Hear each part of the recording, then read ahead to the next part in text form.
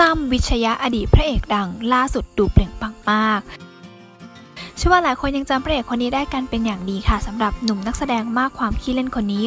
หนุ่มตั้มวิชยะนักแสดงมากความสามารถ ที่หลังจากห่างหายไปจากวงการบันเทิงแล้วเขาคนนี้จะเปลี่ยนไปอย่างไรบ้าง และยังอยู่ในวงการบันเทิงอยู่ไหมเรามาดูไปพร้อม ๆ กันเลยค่ะ